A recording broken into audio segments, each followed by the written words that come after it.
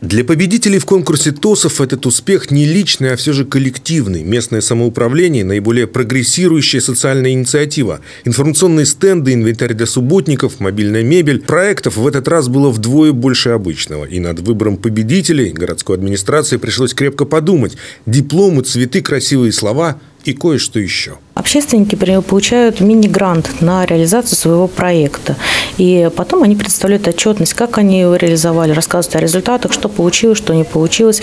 И мы формируем библиотеку лучших практик, чтобы потом другие ТОСы могли, другие активисты могли ей воспользоваться, да, что они сделали интересного и как это можно использовать на других территориях. Мини-гранты в мини-церемонии. Из-за пандемии лучших общественников награждали сегодня всего в трех номинациях. Победитель одной из них, Марина Жданова, уже точно знает, на что пойдут выигранные деньги. В ТОСе Приокский-2 разработали целый список необходимых дел. Отклик на инициативу у жителей удивляет. Даже в наше сложное время к оздоровительным программам в парке Гагарина примыкает все больше людей. Возможно, скоро весь район будет, например, выходить на утреннюю зарядку. Тот грант, который мы выиграли, он пойдет э, на закупку определенного оборудования. Мы хотели бы купить колонку более мощную для того, чтобы развить танцевальное направление. И мы занимаемся вот на сегодняшний момент каждый день день, совершенно бесплатно, начиная в 8 утра.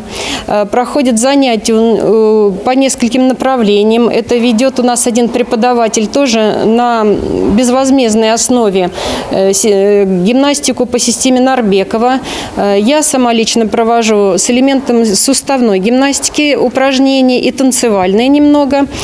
И дальше все ходят, разбиваясь на тематические группы, скандинавская ходьба, оздоровительная ходьба. Своим масштабным оздоровительным оздоровительным комплексом в Приокском-2 хотят охватить как можно больше социальных слоев. Для местных мальчишек уже закупили футбольные ворота, мячи и даже травку для стадиона, который готовят к грандиозному матчу папы против сыновей. А еще для девочек откроют специальную танцевальную группу. Максим Васильев, Станислав Кудряшов, телекомпания «Город».